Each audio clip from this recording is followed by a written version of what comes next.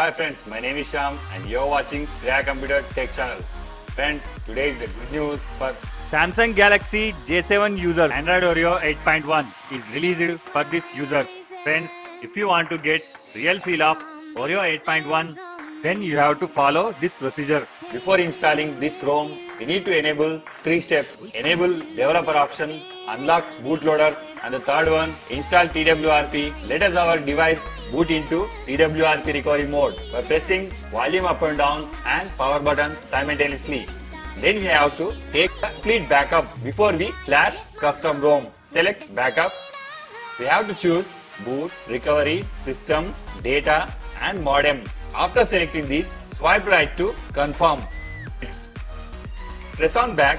By wiping this temporary data, it will allow to cleanly install to this custom ROM. Select wipe, select advanced wipe, select Dalvik/ART cache system, data, swipe right to confirm.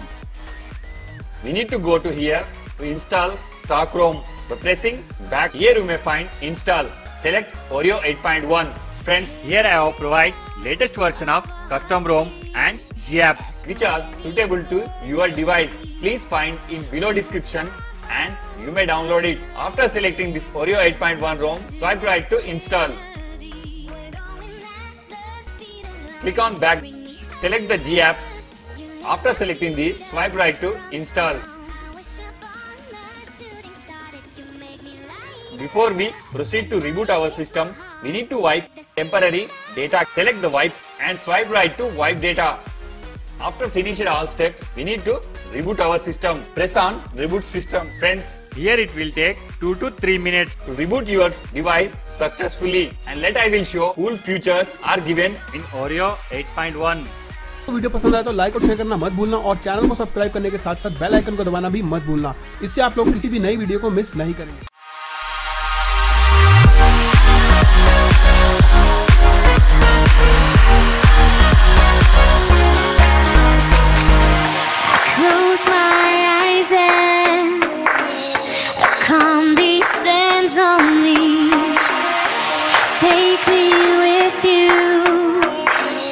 Soar to infinity. We're going